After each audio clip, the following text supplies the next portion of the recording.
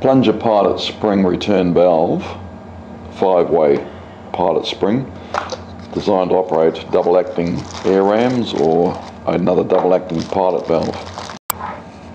The plunger pilot spring is for areas where you've got a machine slide or a press coming down straight on the top of it.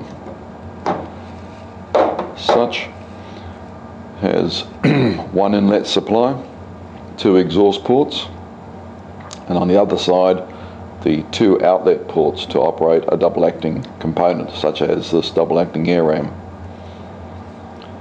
We'll put some fittings into the ports, one into the inlet port here and two fittings into the outlet ports. To make this air ram work we'll put an air supply in and the two outlet ports.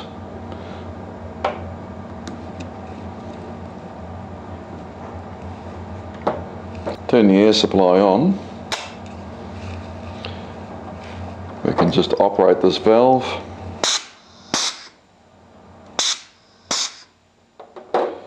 We can also control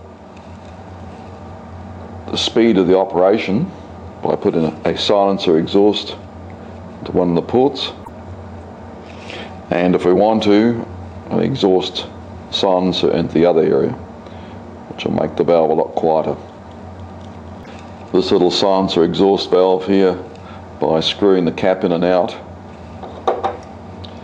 we can control the speed of the air ram operating.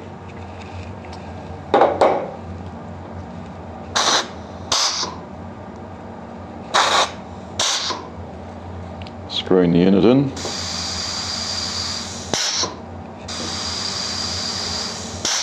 And the silencer of course makes that a lot more effective in the workplace.